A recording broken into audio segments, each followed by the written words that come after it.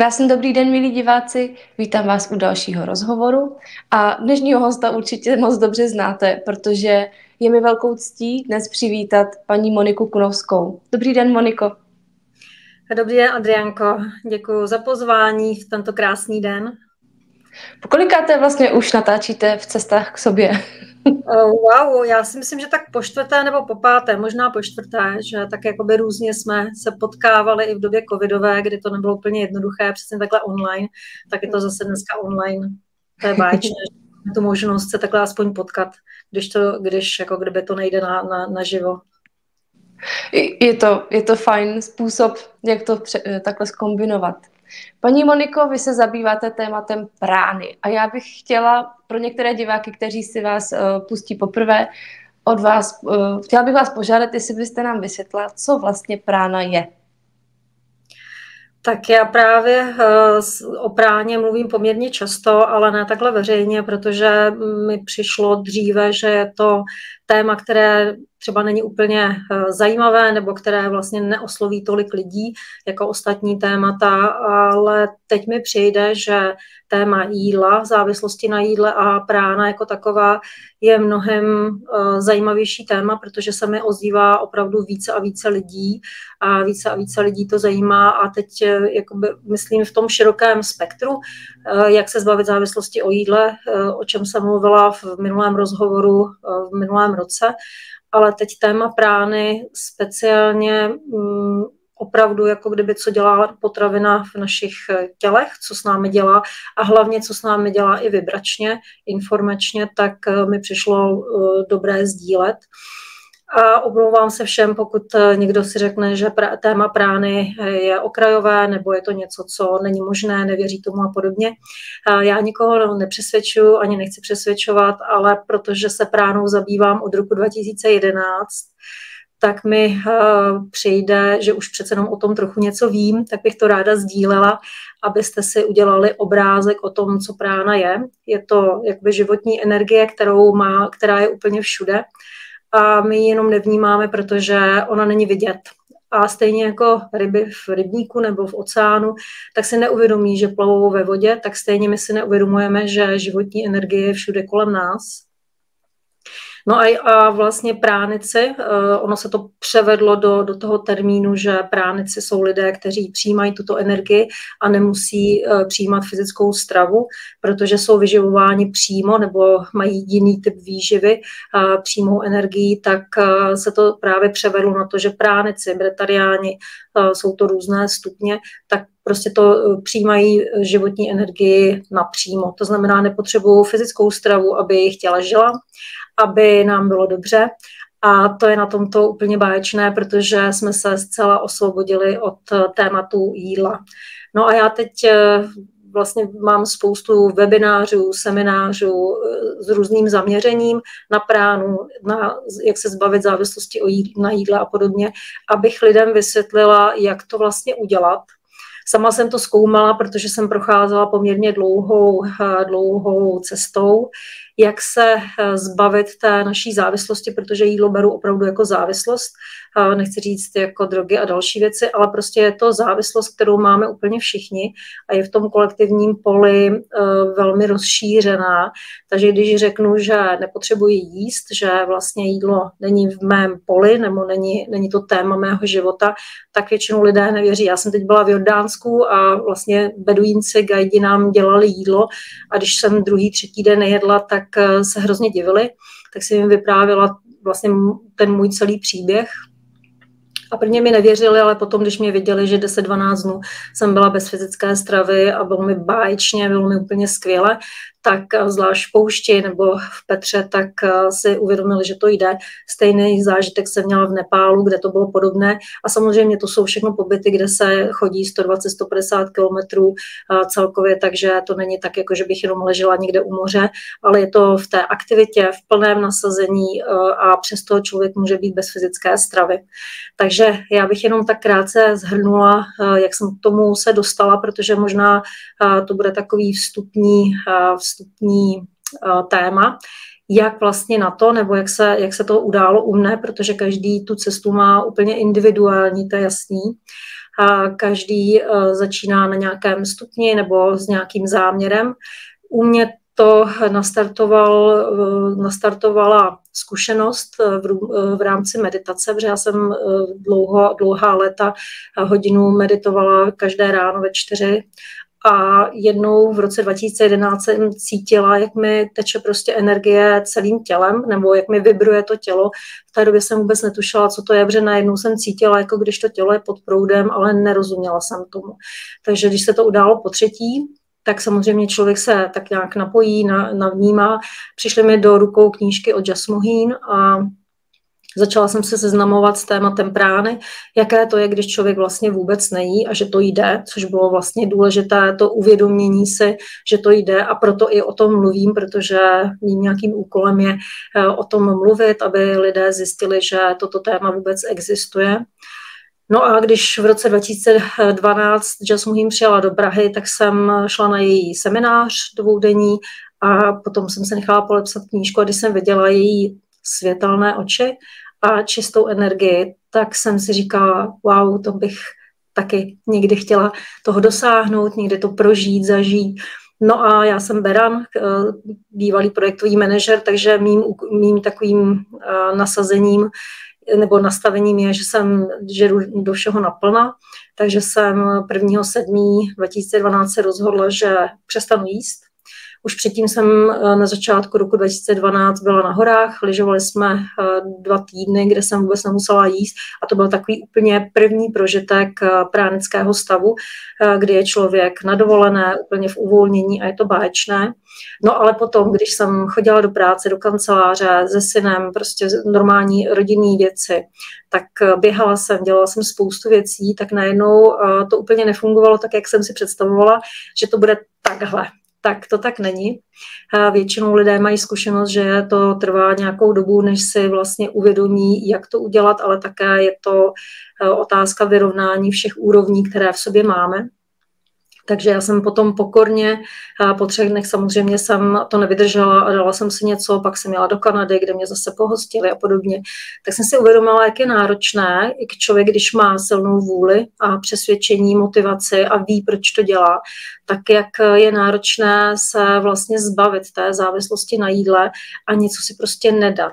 Ono jde o to, že člověk si řekne, tak si dám prostě kousek něčeho ale ono to tak úplně nefunguje, protože jakmile si člověk eh, po několika dnech něco dá, tak v tom okamžiku dostane takový nějaký pocit, že by si toho chtěl dát víc, víc a rozjede se to znovu. A upozorňuji, že já jsem má dlouhodobě vegetarián, pak jsem ještě byla vegetarián, takže jsem jedla jenom syrovou stravu, takže k obědu jsem si prostě nakrájela kousek okurky, mrkve eh, nebo něco podobného a večer jsem měla něco, něco z nějaké, nějaké lehké stravy, ale uh, i přesto mě potom popalily úplně chutě, že jsem měla chuť i na maso, což už jsem dlouho neměla a podobně. A opravdu pokorně, s velkou pokorou jsem dva a půl roku hledala, eh, jak to udělat, jak vlastně se stát pránečkou nebo jak být na práně, jak nepotřebovat fyzickou stravu. A to, co mi velmi pomohlo, je práce s energií, které, které se říká Qigong. U mě konkrétně to byl Chunan Qigong, což je tichý Qigong, kdy eh, pracujeme s vnitřní energií, s vnitřním naladěním.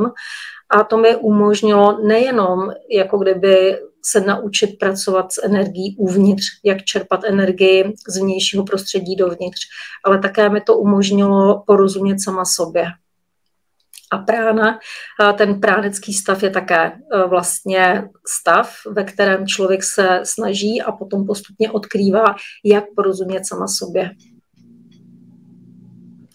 Stalo se vám, že tím, jak jste odlehčila stravu, tím, jak jste od, úplně vynechala stravu a proudila do vás energie nebo pracovala jste s ní, že vám ještě vylézaly některá vaše témata, jak jste odlehčovala, tak e, jste zvyšovala vibrace samozřejmě.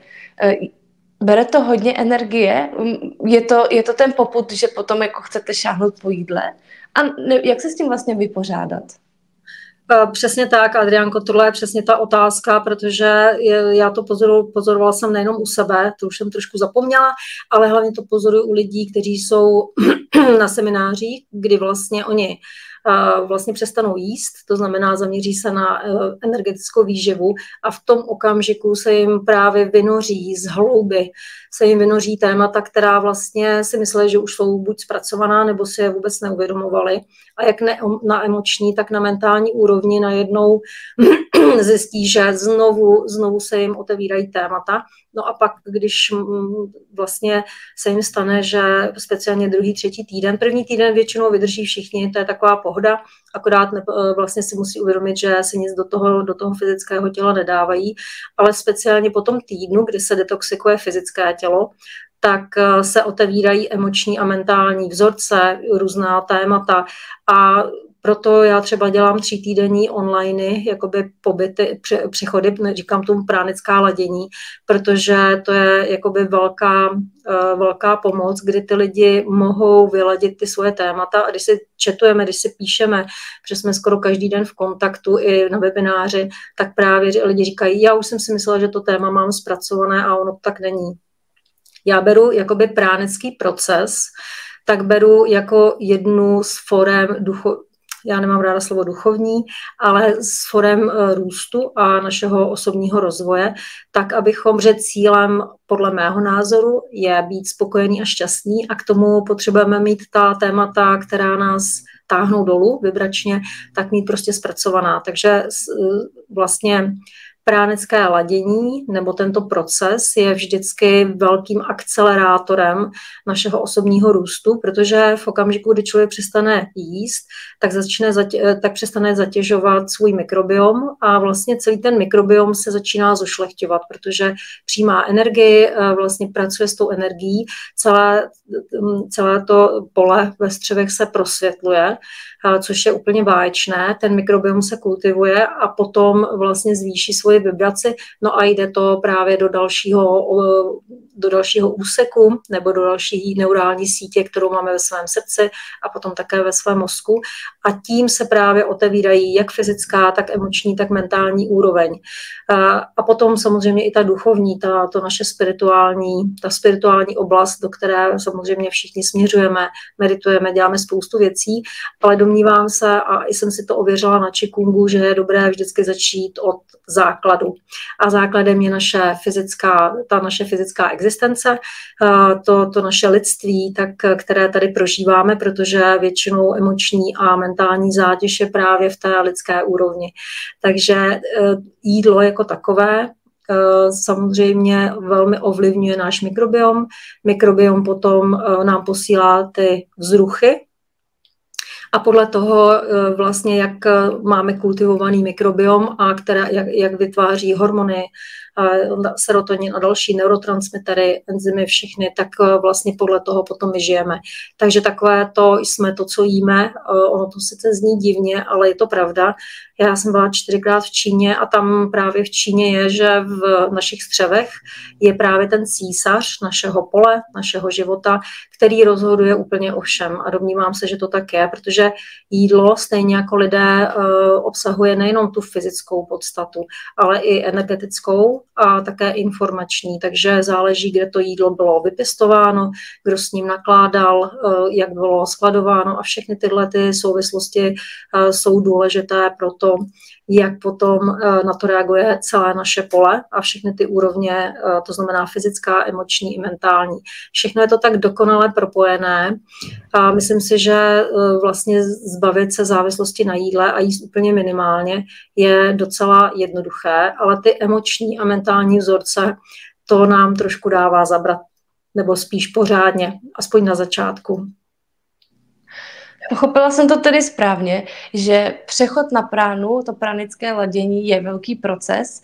Eh, pokud eh, hned na poprvé neuspějeme, protože se nám začnou nořit nějaká témata nebo nějaké věci ke zpracování, nemáme to brát jako selhání a je to Víme, je, to, je důležité začít přemýšlet nad tím, co jíme. Nemusíme hned být práničtí velmistři, ale třeba se zamyslet nad tím, jestli ta potravina eh, s náma ladí vibračně a tak podobně. Protože cítím některé diváky, jak by jako se do toho chtěli ponořit, ale, ale uh, představili by si, že za tři týdny budou na práně, že to asi nebude takhle, takhle jednoduché a nebo klidně mi vyveďte z, z omylu, ale my jsme si tím taky prošli uh, a vím, že odvykání třeba jenom od cukru nebo od masa bylo neskutečně náročné a uh, celkově, jak jste říkala, jsou to velké závislosti a je to, je to osobozující, když to překonáme. Přesně tak, ono, ono vlastně všichni jsme na práně, to je jasné, protože jak rostliny, tak stromy by nedokázaly vytvořit ta fyzická těla velká, jenom čistě z výživy, kterou mají přes svoje kořeny a přes svoje listy. To znamená, stejně tak lidé e, jsou na práně. Teď já vždycky říkám, že jenom záleží z kolika procent. To, aby to bylo snadné, aby to e, jsme za týden se přeladili, aby jsme prostě byli bez, bez jídla, tak to by chtěl úplně každý, to je jasný.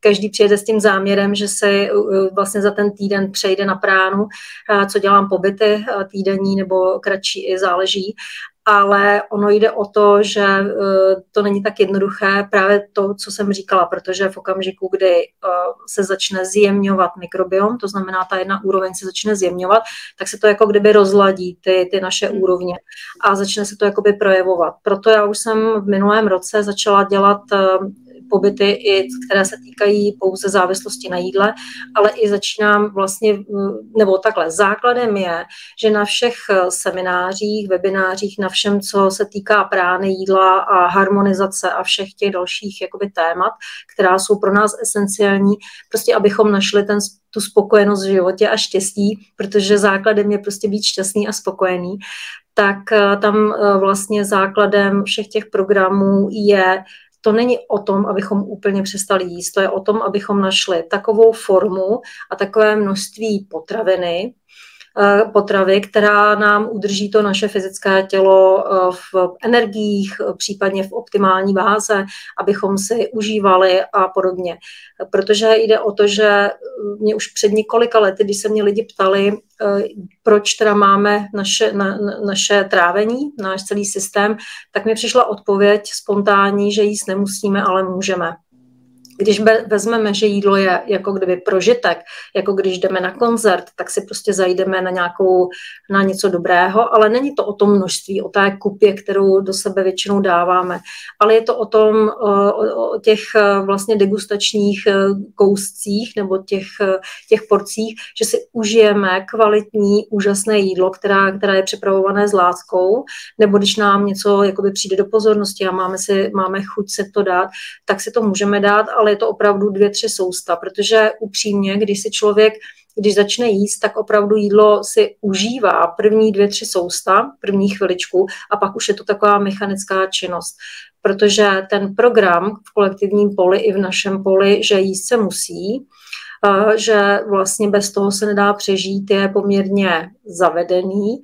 A vlastně my, se, my si uvědomujeme právě na těch pobytech nebo na těch onlinech, že to tak není, že vlastně lze získávat energii jinak, pracujeme s energií, učíme se, jak nabírat energii přímo, což je důležité, protože když vezmete, tak jídlo jako takové je pouze nositel energie, potažmo, když si uvědomíte, co jíte, tak se domnívám, že jídlo méně a méně je nositel energie. Je to spíše hmota, která v dnešní době už je hodně zpracovaná, je tam, jsou tam různé chemie a podobně.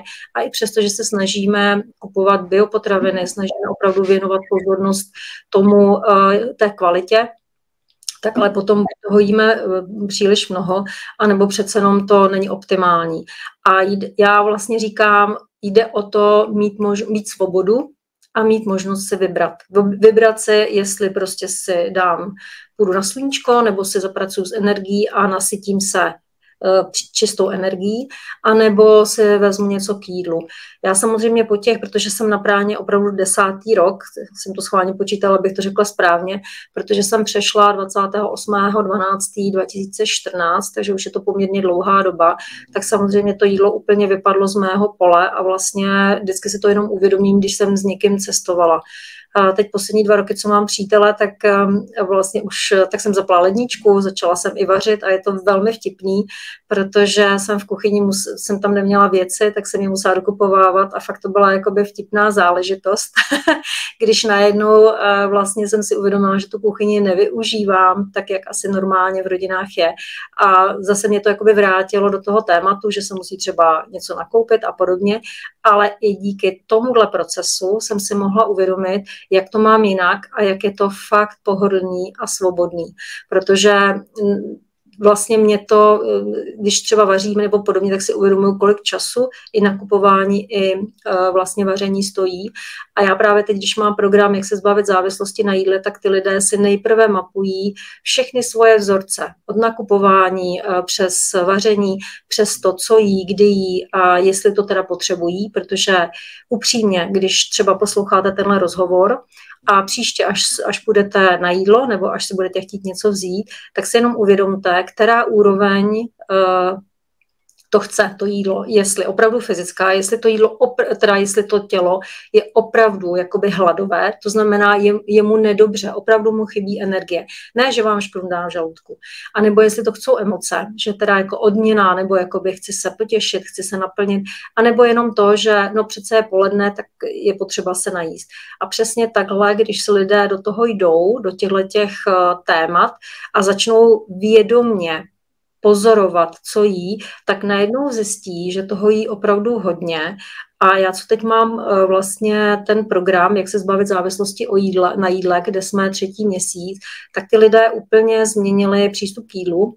Eh, většina z lidí mm, z těch běžných porcí eh, vlastně začala jíst jenom jednou, maximálně dvakrát denně a to ještě vlastně mnohem menší porce a zjistili, že je jim lépe, že vlastně se cítí mnohem lehčí, že po jídle prostě nemají takovou tu demenci, že, že je jim opravdu báječně a lidé, kteří jsou na, v prádeckém ladění a opravdu nejedli, nebo protože dneska končíme, dneska je zrovna 21. den, a, takže máme finále, ale je to jenom finále toho, toho našeho uh, prádeckého ledění, nikoliv jejich života a jejich cesty s pránou tak mi právě psali, že když byli na práně, protože ne každý to zvládl těch 21 dnů a potom dál, ale vlastně to, co psali, když už to jednou prožiješ, tak už nechceš jinak, protože všichni, ale všichni psali. Bylo nám lehko, bylo nám báječně. A to, to tělo se uklidnilo, uvolnilo, začalo to jako kdyby svítit. My jsme šli ven a vlastně jenom jsme cítili, jak ta energie vlastně vstupuje do toho těla a potom samozřejmě, když to třeba nevydrželi, eh, potřebovala některá úroveň si něco vzít, tak ale si vzali toho hrozně málo, protože ono to ani tolik nejde, jako by se najíst a podobně.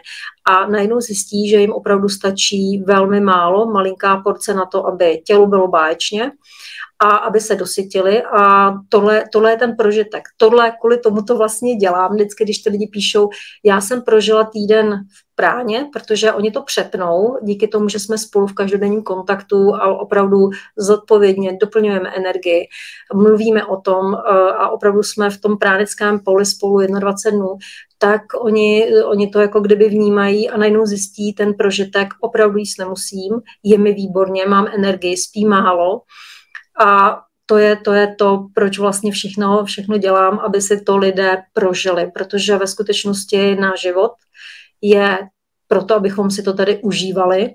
Myslím si, že v nové realitě, která tady nastala, o které mluví spoustu kolegů i na vašem kanálu, na vaší televizi, tak vlastně v té nové realitě nás čeká to úžasné osvobození vlastně ze všech těch konceptů a těch starých programů, které máme v sobě zasazené. A já snad na, všech těch programech, včetně na harmonizačním programu, tak stále jako kdyby si jenom uvědomujeme, že můžeme to staré nechat odejít a vlastně otevřít se potenciálu toho člověka, respektive toho vědomí, které, co vlastně ve skutečnosti jsme, které se projevuje skrze tu Moniku, toho člověka. No a pak ten člověk, ta Monika se může velmi radovat, bavit, je jí krásně, je jí báječně. No a když jsem třeba byla v Jordánsku, tak se mě ty gajdi ptali, jestli jsem šťastná. A já jsem si tak za mě říkala, jasně, jsem šťastná. Pak se mě ptali po druhé a po třetí. A já jsem se opravdu vlastně zamyslela. a vlastně zjistila jsem, že opravdu mohu s plným, jako kdyby s tím srdcem otevřeným říct, že jsem opravdu šťastná, protože mám všechno, co jsem si kdy přála, ale to už ani není o tom přání, ale spíš o, té, o tom jednoduchosti.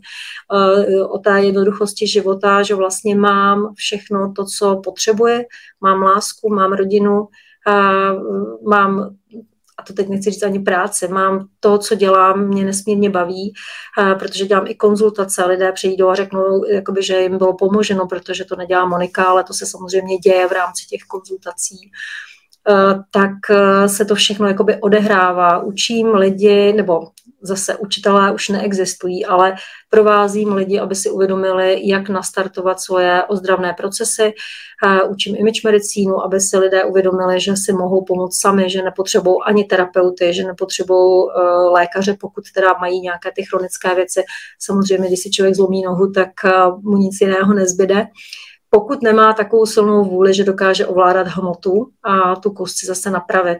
Ale to musí být v tom daném okamžiku, kdy se nepřipne informační pole na to, že, že ta noha je zlomená. Tam už, se, tam už je nutné pracovat v časoprostoru s informací, která vlastně do toho pole jde. A já když pozoruju u těch lidí, jak se jim mění životy, jak se jim uvolňují všechny ty staré koncepty, tak z toho mám opravdu velkou radost. Velkou a prostě jsem šťastná i z toho, jak se mi žije a i z toho, jak se lidem žije lépe a lépe. Může každý přejít na pránu? Je to pro každého? Já si myslím, že prána je pro každého, jak jsem říkala, každý je na práně, to ano, ale vlastně spíš záleží, jestli mají vůbec tady tu ambici, jestli mají tu motivaci, proč eh, jakoby být čistě na práně, nebo můžou prostě si najít takový režim, že budou částečně přijímat pránu a potom vlastně částečně eh, jako kdyby jíst, že to může být kombinace v nějaké přechodné době.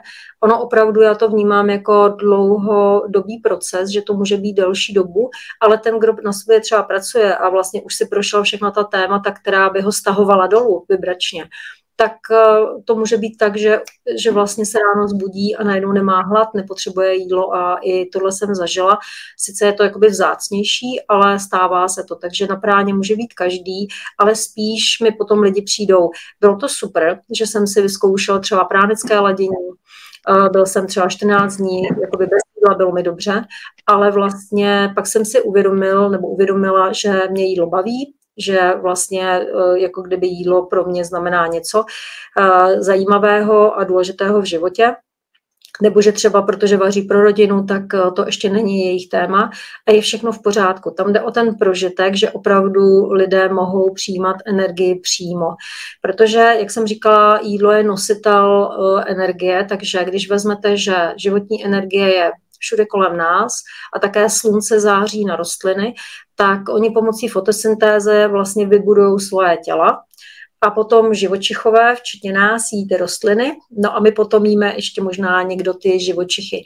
Ale pořád vlastně to primární, proč jíme, je, abychom dostali tu energii, tu původní, tak abychom zpětně dostali z té potravy eh, do svého těla nebo pro, pro tu výživu. A to znamená, že pránici, lidé jako já, tak oni si vzpomněli, jak tu energii přijímat přímo, aniž by potřebovali fyzickou stravu.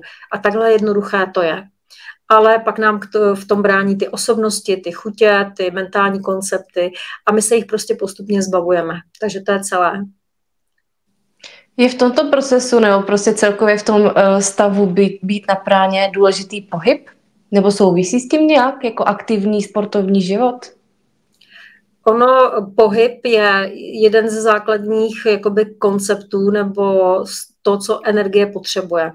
Vlastně, když přijdou lidé a jsou nemocní, tak většinou mají zastavenou, zablokovanou energii.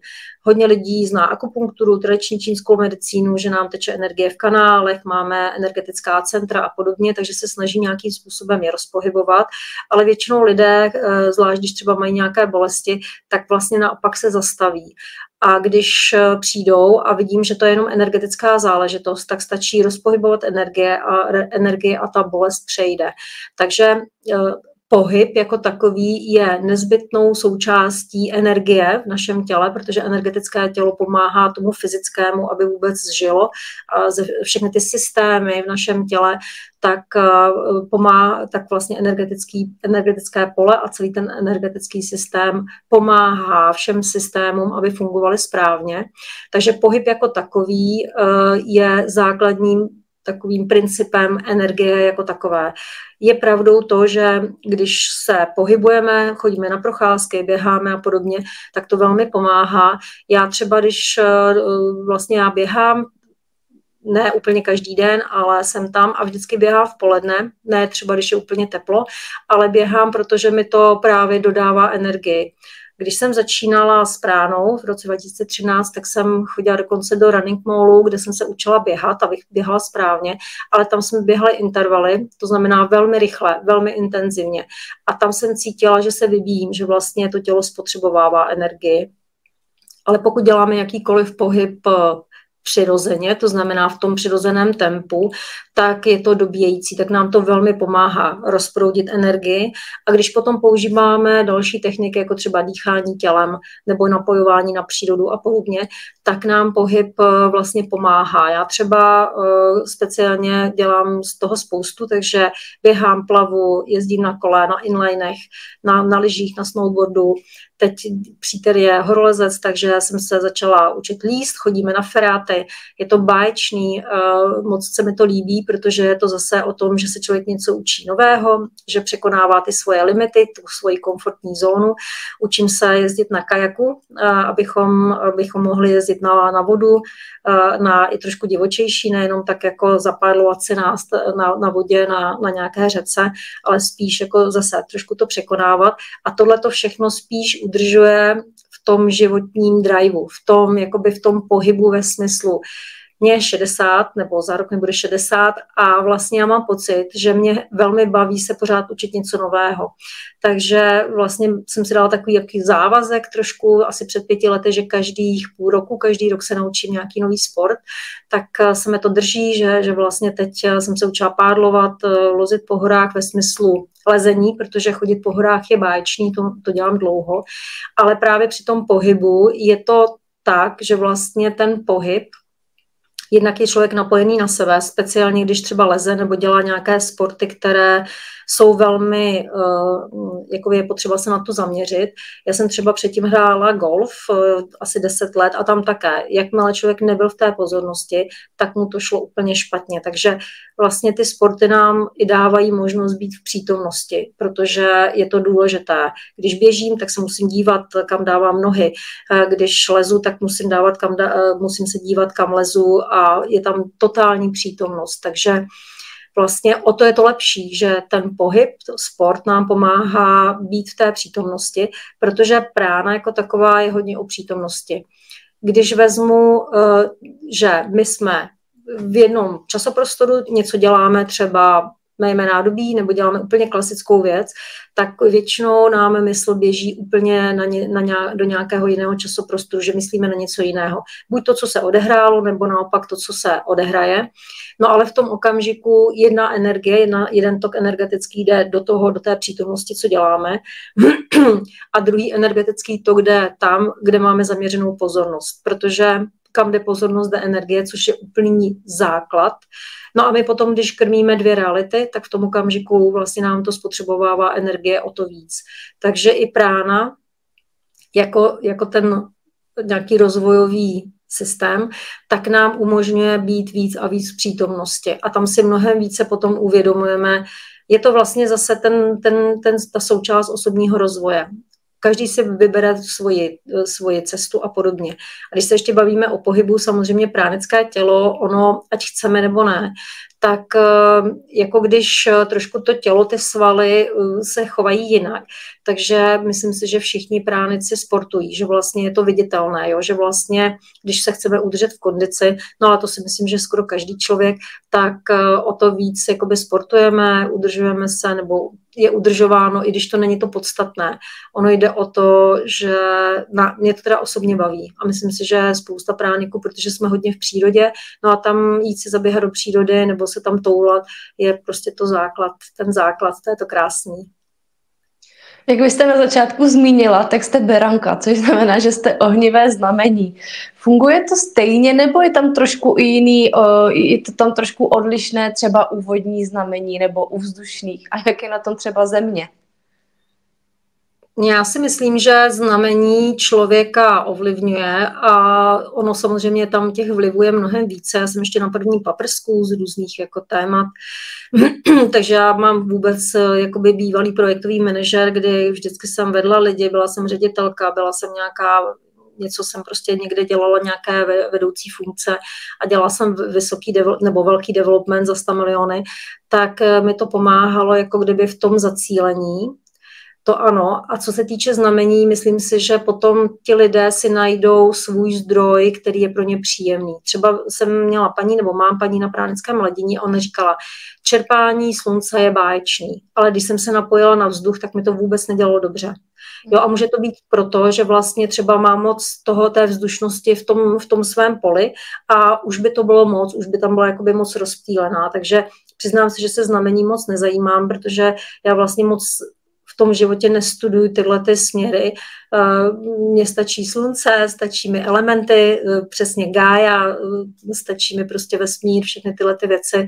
Ani nepoužívám nějaké velké, samozřejmě mandala, teda ta je nádherná, tu mám od kamarádky, která mi ji dělala, poprosila jsem ji, protože je to takový jako zářič pro nějakou jednoduchost, pro semináře a podobně, protože cítím, že jdeme do těch vysokých vibrací. Ono všechno je to vlastně o vibracích v okamžiku, kdy máme nízké emoce nebo máme nízké myšlenky nebo si vezmeme něco těžkého k jídlu, tak se nám automaticky sníží vibrace a cítíme se, že jsme, že, že jako jdeme dolů, že jsme takový těžcí. No a právě v okamžiku, kdy odlehčíme stravu nebo ji úplně vynecháme a také máme tu radost životní, eh, protože už jsme vyřešila ta témata a neza, nezatěžujeme se myšlenkama co bych chtěl nebo co nemám a podobně, tak potom máme vysokou vibraci, protože si užíváme v té pokoře tu hojnost, to, co máme. Já jsem teď eh, u jedné paní eh, na konzultaci vnímala jako takové ty prapůvodní zakódované věci u lidí, že my se velmi zaměřujeme na to, co nemáme, a také se necháme zahltit eh, jakoby tématy ostatních lidí, že všechno musíme zvládnout, že všichni ostatní jsou zrcadla, že, že vlastně, když nám někdo ublíží, tak jakoby, že mu to nemůžeme vracet a podobně. Ale to jsou nějaké kódy, které právě nás mají udržovat v tom, že nemáme tu pozornost, kdo opravdu jsme. Takže o to víc si myslím, že když se budeme uvědomovat, co máme, Eh, co, jakoby, co umíme. A není to o tom se pochválit a říct mám se ráda a podobně, ale přirozeně být v té pokoře a v té jako kdyby eh, vděčnosti a to, co mám, co umím. A nehledat pořád další a další směry, nehledat eh, nějaké, nějaká témata, která vlastně třeba nám k nám vůbec nepatří a porovnávat se hlavně s ostatními. Takže když tohle to odejde z našich životů, tak se člověk obrovsky se uleví a ani nemusí být na práně, ale vlastně ta vibrace celkově se zvyšuje. No a když se zvyšuje vibrace ve všech úrovních, tak potom je v člověku více světla, protože vlastně světlo se začne projevovat v okamžiku, kdy se zvýší vibrace. Eh, vibrační úroveň je v podstatě princip světla. A potom my máme v buňkách mnohem více světla. Čím vybrujeme výš, tak vlastně ta světelnost se projevuje v našem těle. No a potom ta výživa je vlastně snazší a snazší. Proto lidé, kteří vyřešili ty svoje témata a vybrují vysoko, tak je pro ně jednodušší přejít nebo být na práně, protože už vlastně je neomezuje. A také světlo, které vlastně vstupuje do nás, tak eh, může jít, může jít do celého toho organismu, protože ono, pránická výživa velmi souvisí s průtočností. A když to vezmete, tak eh, když máme nějaká témata, máme stres nebo jsme v nějaké obtížné situaci, tak ten náš systém se jako kdyby stáhne, i naše fyzické tělo se stáhne a přestane jako kdyby být průtočné. To znamená, že jak se stáhne, tak se začne vybíjet, tak je vlastně energie spotřebována. A když jsme v klidu, když vlastně je všechno vyřešené a jsme v takovém tom svém nastavení, tak se všechno uvolní. A třeba tomuhle i pomáhá sport, že já když po, po několika konzultacích, tak přece jenom trošilinku jsem v napětí, A to se prostě děje, ty konzultace, ale přece jenom po, po třeba 4-5 hodinách eh, to tělo je unavené a jdu si zaběhat, tak přijdu a jsem uvolněná, dobytá a je mi dobře. Takže je to hodně o té průtočnosti, o vibraci, kterou vlastně nese naše tělo. A tohle všechno dohromady prostě souvisí. A, takže nejenom ta strava, ale i myšlenky, emoce, všechno do, do, dohromady, ale to říkáme úplně všichni. My, jakoby na to není, protože vlastně ten princip je stejný, akorát každý na to jde z jiného směru. Každý máme ten, tu svoji metodu a já ji nikomu nenutím vůbec. Jenom mi to přišlo docela zábavný. Je to vlastně další cesta k sobě. Poznat tak. se, co mě nabíjí, co mi dělá dobře, jak se dostat na vyšší vibrace a tak. Přesně tak, přesně tak. Je to jenom možnost a myslím, že přes to jídlo to je docela jako kdyby rychlý, protože to jídlo nám opravdu zatěžuje a vlastně my potom nějak klopotně meditujeme eh, a pořád se snažíme najít nějaká ta témata v okamžiku, kdy zlehčíme stravu nebo ji úplně vysadíme na nějakou dobu. Ale tam jde o to, hodně lidí říkají půst, prána a podobně. Půst je hladovění, to znamená, lidé jdou do půstu, aby se detoxikovali na všech úrovních, ale to je hladovění a oni nepřijímají energii jinak. Kdežto prána jako taková, tak vlastně je to jenom jiná výživa. To je úplně jiný, jako kdyby jiné prožívání, tam není žádná návratovka, tam není nic, tam je prostě čistá radost a svoboda, takže tam je to potom jakoby mnohem jednodušší. No a po týdnu se zhruba začnou e, vlastně otevírat ta témata. Je to opravdu, jak když zjemníte, tak najednou se vyvalí z vás všechny možný ty věci, které máme tak hezky dole, utemovaný, tak se to vyvalí, ale o to jde to potom rychleji. Když to člověk ví a vlastně ví, co s tím, že to jenom pozoruje, že to vlastně nějak nehodnotí, eh, třeba vypsali lidi, že najednou byli hrozně hněviví, že byli fakt jako naštvaní, ale vlastně já jim říkám, ale to jde z hlouby vás, to, co bylo potlačení někde někdy, a může to být z různých úrovní, z různých časoprostorových liní, tak jenom to pozorujte a ono se to z vás vyvalí a ono to, jde, ono to prostě se rozpustí tím světlem a, a vlastně už to v tom člověku není. A to je na tomto báječný.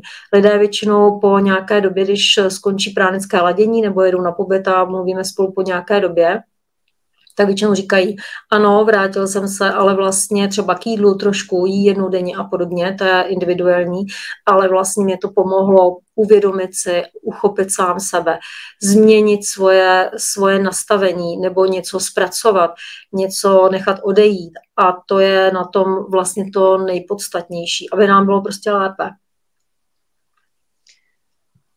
Milí diváci, pokud byste měli na paní Kunovskou nějaké otázky, tak tady před chvilkou běžela webová stránka a uh, myslím si, že na těch webových stránkách najdete veškeré informace o kurzech, o, o různých možnostech, co a jak se kam přihlásit. Je to tak? Je to tak, já bych vás ráda pozvala jak na pránická ladění, opravdu je to v radosti a v lásce. Není tam nic, že vás zamknu a nepustím vás, naopak jako od rána do večera se smějeme a tak jakoby všechno plyne. A to, co jsme teď připravili úplně nově, je pránecký, sportovně pránecký hvar, eh, kde jsme našli základnu, eh, kde jeden takový Slovák, Miro, on udělal skála, moře a vybudoval tam malé pokojíky pro lidi. Je to teda určené jako pro horolezce, ale vůbec to tak nemusí být. A tam prostě je to pod hvězdama, přímo u moře kde, kde můžeme, kde tam e, vlastně budeme používat, můžeme šnorchlovat, můžeme, budeme chodit, protože nad svatou nedělí, kde to je, vlastně ta základna Cliff Base, tak je tam 600 metrů kopec, v tom je krásná jeskyně, je tam i feráta, takže každý si tam vybere svoje sportovní aktivity nebo může se jenom prostě být pod hvězdama. Je to tam úžasný, úžasně tam teče energie. Na to se, moc, to, na to se vlastně těším teď nejvíc, to nás čeká v červnu a potom v září, protože ve svaté neděli u moře vlastně to běží úplně samo a co jsem tam měla zatím dva pobyty, tak si lidé vlastně eh, jakoby říkali, že tam prostě to, že tam to bylo velmi lehké. Ono je to lehké i v České republice, to je jasné, protože když máme týden pro sebe a jenom tak jakoby plyneme, meditujeme, mluvíme nejenom o práně, ale o těch trablech, které člověk jakoby prožívá nebo má, tak se to tak jakoby hezky uvolní a lidi, potom odjíždí šťastnější.